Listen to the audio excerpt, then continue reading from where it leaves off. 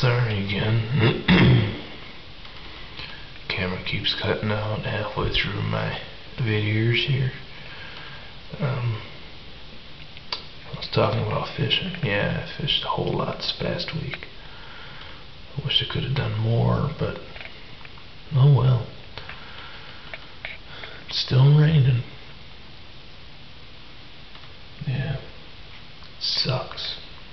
I'm not gonna be able to sleep tonight.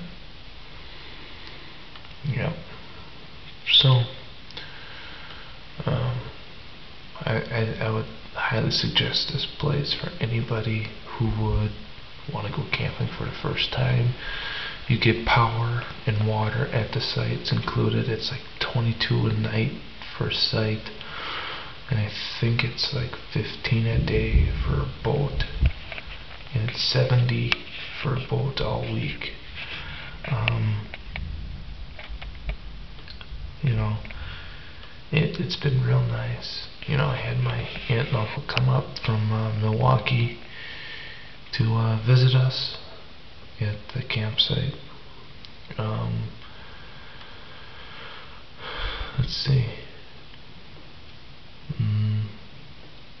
Oh, it's like almost one o'clock in the morning. Still raining. It sucks. Um.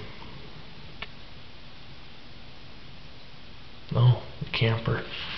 Yeah, everybody else has this camper that we bought. And my dad, brother, and sister are in there. It's a 1984 Coleman Redwood 7. And my sister's got her own little side. It's full of all her crap. Well, to her it's not crap, but I mean she takes a lot of stuff with her wherever she goes.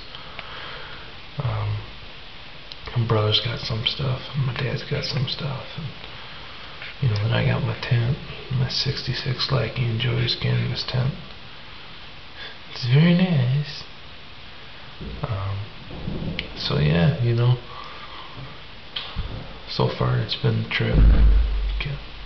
What